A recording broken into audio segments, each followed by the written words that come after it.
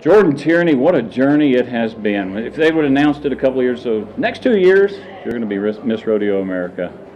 Wow. Yes, absolutely. You know, um, I think just wow is kind of the way you encapsulate it all. Um, just from everything that happened, uh, you know, the pandemic, the two years, but all in all, it was a very fulfilled experience. And I don't feel like I was gypped in any way. If anything, I feel like I got more out of it. And one of the best parts that came out of it was the relationships that are going to come or that have come out of it. And that's really what it's all about. You know, um, I, I, we have the luxury of watching a lot of queens and, and doing the program, and, and you do see it I mean, it starts to take its toll. It's not it's not an easy job. It's not riding around smiling and just having fun, eating nice meals. It is a hard job and a lot of work.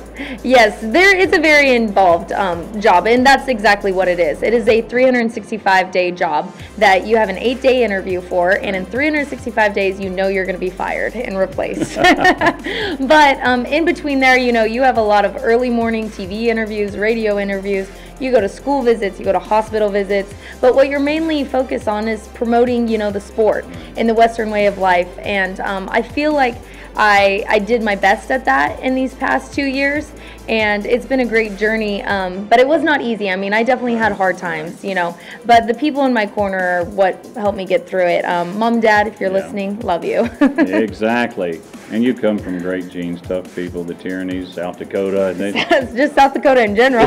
said enough. You just live on the other side of Mount Rushmore. You got to be tough to do that. Right? exactly. Exactly. Let me, let me ask you, what happens next? What what's what are we going to see you do? I know it'll be big. Yeah, yeah. You know, nothing is official yet, um, but some really great opportunities have come out of this um, title. Honestly, some stuff just just here recently. So I am very excited to watch those. Um, you know, fruits of your labor come to fruition. So it's been amazing. Um, I'm so excited to take the next step. But I will be pursuing my master's in business through okay. the University of South Dakota in the fall of 22. Right now is my plan. Um, so I'm excited to use my scholarship. I get five years to use it, and I know that if I procrastinate, probably won't use it. it's one of my yeah. weaknesses. They asked me in my job interview. Oh no, um, but I'm excited to pursue that and just kind of you know live life and be a civilian again.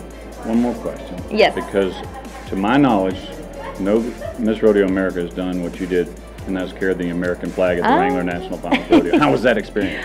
Oh my gosh, uh, pinch me! It's uh, it's it's like back when I got first crowned as Miss right. Rodeo America, and it took a moment to sink in because mm-hmm. it was so surreal. Um, that's never happened before and I was so honored and I'm so grateful for the experience. And I just want to thank, you know, Las Vegas Events, PRCA, for giving me that opportunity. And it is a pleasure every single time I get to present the American flag in front of a rodeo crowd because there is no crowd and no sport more patriotic than the rodeo fans of the PRCA. Well, on behalf of everybody with the rodeo committees, the fans, the WPRA, PRCA, everybody at Wrangler, and uh, of course, I got to say the Miss Rodeo America pageant. It has been an honor and a pleasure. You have served us well. We wish you the best, and uh, long live Jordan. Thank you.